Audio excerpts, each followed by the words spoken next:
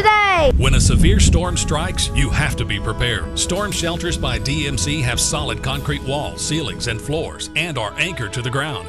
The shelters are cleverly designed, offering an array of custom stamped concrete colors to choose from. Plus, they're spacious, thus providing comfortable surroundings for the entire family. Stay safe and secure with a storm shelter by DMC, 432 West College Street in downtown Pulaski.